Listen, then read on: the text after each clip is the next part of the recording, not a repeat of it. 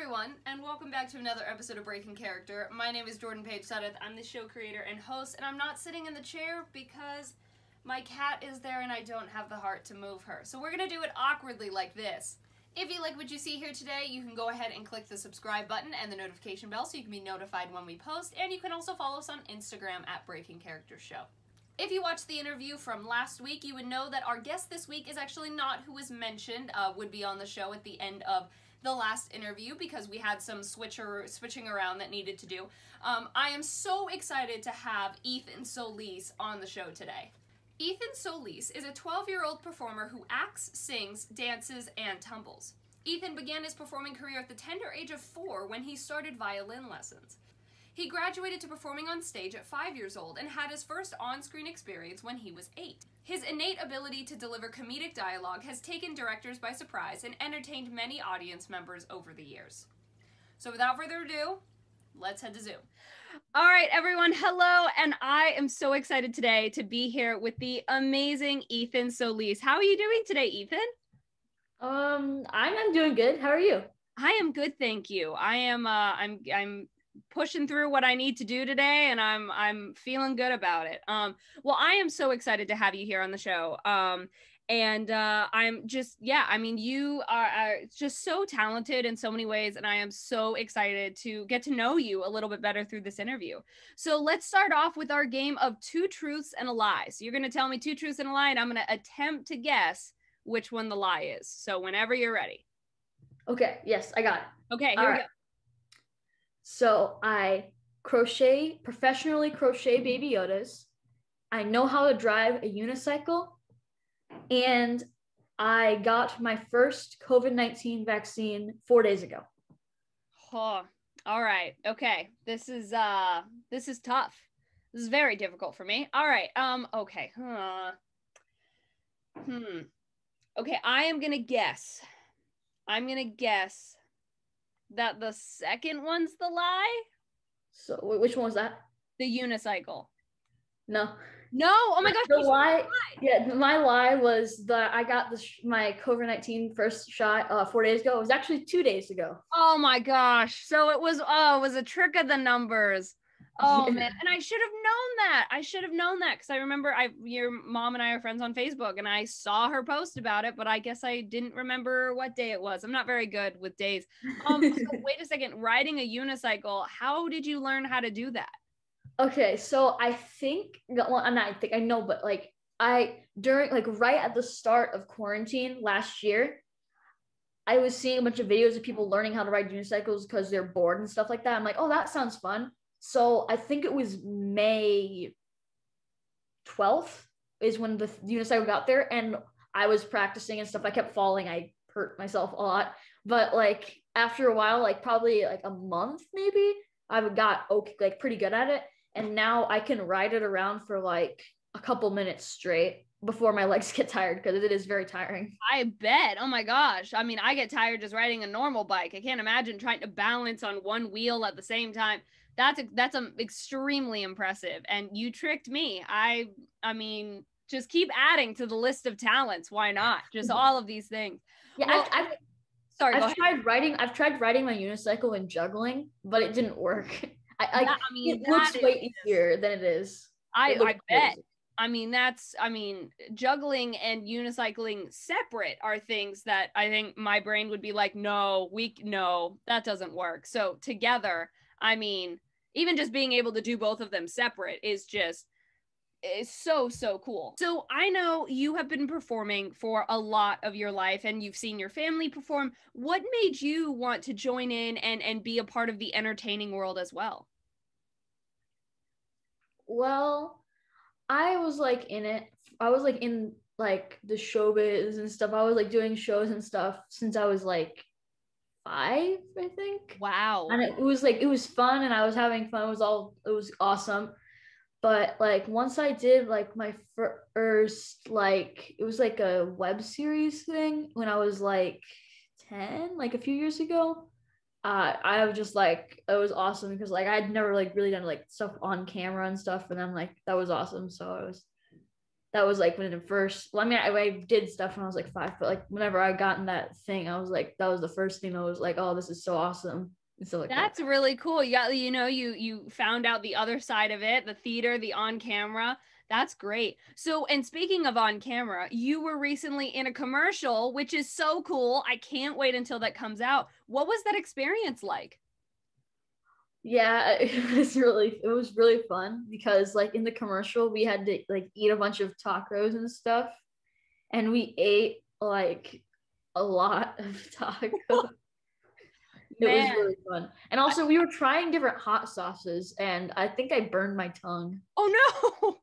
Oh, I give you credit. I do not do well with hot stuff. I would have been like, "Can I I have to fake it?" I because or else I would have been running out of the room going, "My mouth is on fire. I can't." Um so that is really cool. I'm so excited for that to come out and that's just so cool. Um so here's my wild card question. Has nothing to do with anything. What are some of your hobbies outside of the film and entertainment world? Okay, so I have a lot. And that's Um, great. All right, so I like crocheting. I like crocheting like different actually different things like this right here. This is looks like just like a little ring, but right it's actually the start of a baby Yoda head. Oh, that's I'm so cool. it- Yes, I'm crocheting a baby Yoda for one of my friends. And I like to um I like to solve Rubik's cubes. I have one right here. I saw the one in your vlog or the vlog that you did. Yeah. That was so insane. Um, let's see. I like to juggle actually. I really like to juggle stuff. I like doing tricks on my trampoline too. So many, uh, man, that is just so many like different areas of like, that is, uh, my Oh, hands yeah. are not steady enough to crochet. I give you so much credit. Oh yeah, I also like driving my remote control car, which I did in the vlog as well. I saw that too. I remember we used to have a remote control car um, when I where I used to live, and but we had a um, a gutter near our house that it would keep getting stuck under, and so my or the, not the the gutter, but basically where all the water went when it rained, and so my dad would have to climb down in it and get it like multiple times. So I was really I was it was really cool to see you driving it around in your vlog, and I was like, hey, I had one of those. Um, well, those are some awesome hobbies. Like, I mean, that's just so cool. Um, all right, so moving on, we have got the game called Memory Association. So, the way Memory Association works is I've got my random word generator here. I'm going to generate a random word, and once I get to a good one, because some of them are not very good, um, we are both going to say or talk about the first memory that comes to our head when we hear whatever that word is, whichever one we're willing to share. Okay. All right, our word is oh, how about deer? Like an animal, the deer. Oh, oh, oh, actually, actually, this is that is a good word. Yesterday, this is yesterday. Okay, so yesterday I was doing my school in this exact area I am right now, and my dad was like, "Hey, there's a deer outside." So I looked out the window, and then there was a huge, huge deer that was probably like 10 feet away from our house, just staring and walking around. It was huge. Wow. And it was like kept walking closer to the house and looking at stuff. And there was a cat, there was a cat that wanders around, and if the cat was wandering around, the deer was like watching it. It was it was kind of weird, but it was like the deer was just walking around. Then after a while, it left and went to the woods, and then it walked around later, or like way in the woods, we could barely see it. And there were a bunch of other deer stuff and like babies and stuff. It was cute. Yeah. Wow, that is so cool. My my memory that I thought of, well, first of all, the house that I live in now, we have deer all the time around here. So anytime I'm like driving home at night, I have to be really careful because I have to make sure that one doesn't end up in the road. But the one I thought of is a few years ago, my mom went up and um to her her parents' house that they were selling at the time. And they were walking around making sure that like everything was, you know, ready to go and all of that and there was a deer that literally came up to them. A young like you know younger deer had no fear at all of people came right up to them was like really affectionate with them. And it was just this crazy experience. My mom got photos of it being so close. And so yeah it was a it was a pretty crazy story and pictures to see that a deer had come so so close. Um i love deer. They're so they're they're so to me uh, it's just it, i always get really excited when i see them even though i literally see them every day Um, all right, so moving on. So you have a lot of different talents, as we've already established. You know, you sing, you dance, you tumble, act, you play instruments, all of this stuff. Um, do you have a favorite? And if you do, why is that your favorite? I think my favorite is tumbling because I really like doing tricks and like flips and stuff. And it's just really fun because like I'm pretty good at it. And like a bunch of other stuff, like I can like I'm learning how to do like a bunch of like flips and like back flips and stuff like that. And it's it's like really fun. I just think it's really fun.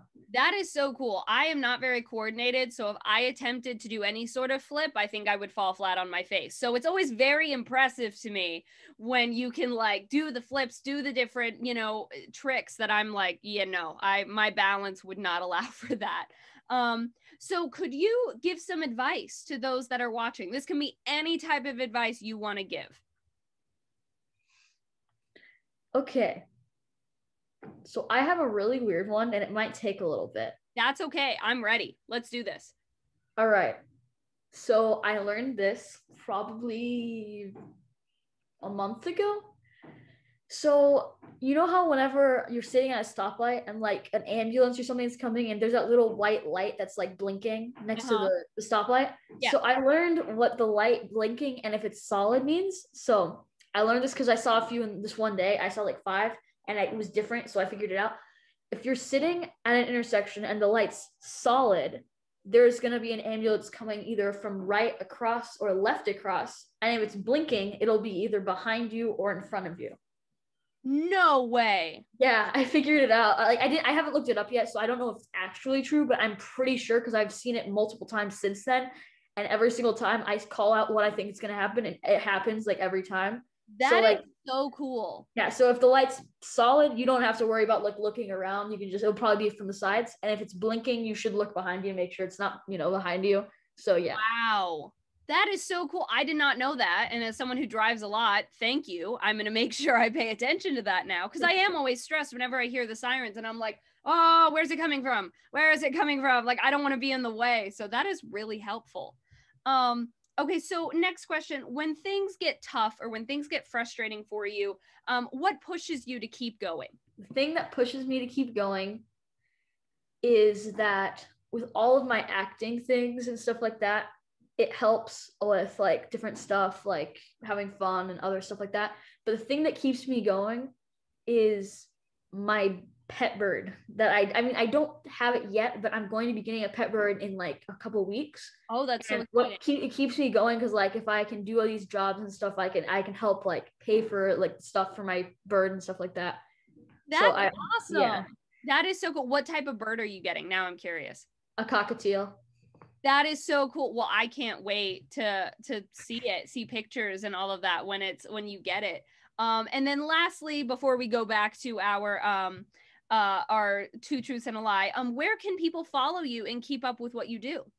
Okay, so I am on the our YouTube channel, Supercharged Trio. Okay, and we just recently made an Instagram account, and my Instagram is super uh, is yeah super e underscore 13 got it Perfect. Well, I will put both of those in the description so people can go and subscribe to the YouTube channel and follow you on Instagram. Well, it is it was so good getting to talk to you. Thank you so much for being on the show and I'm so excited for everyone to see this. Thank you for having me. Of course. I'm going to go ahead and press stop on the recording. So we are going to head out of Zoom. Thank you all so much again for watching today. I really hope you enjoyed. If you did, you can click the subscribe button and the notification bell so you can be notified when we post every single Tuesday and Thursday. And you can follow us on Instagram at Breaking Characters Show. If you yourself are a creative and you're interested in being on the show, you can go ahead and check out the description box below where there's a link on how to submit yourself. And you can also find Ethan's social media and my social media down there as well. Now, next week, I don't think this is going to change, but next week we should have Caroline Riley on the show. But if it does change, it's no big deal, and you'll know when we post the videos who's going to be on the show. Thank you so much again for watching, and we will see you, hopefully when I'm sitting back normally in my chair, next Tuesday.